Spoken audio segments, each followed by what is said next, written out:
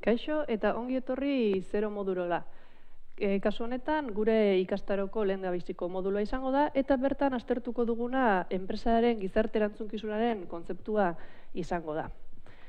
E, lehenengo jakin beharrekoa da, e, gizartean gertatutako azkenengo edo gertatu diren aldaketetatik sortu diren kezka berriek e, eragiten dutela gizarte erantzunkizunaren beharra.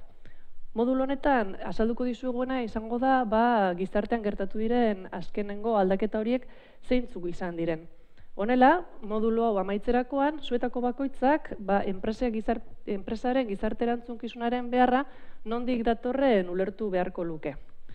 E, modulo hau, bost ataletan banatu dugu, eta atalauetako bakoitzean, gizartean gertaturiko aldaketa horietako bakoitzaren nondik norakoa azalduko dizuegu. Konkretuki, ba, globalizazioa, datu ekonomikoek duten muga, negozioetan kontuan hartzeko osagai berriak, erakundek onartzen dituzten kontratu berriak, eta egungo arazo berrien identifikazioa. Modulua interesgarria irudituko zaizuela espero dugu, eskerrik asko zuen arretagatik.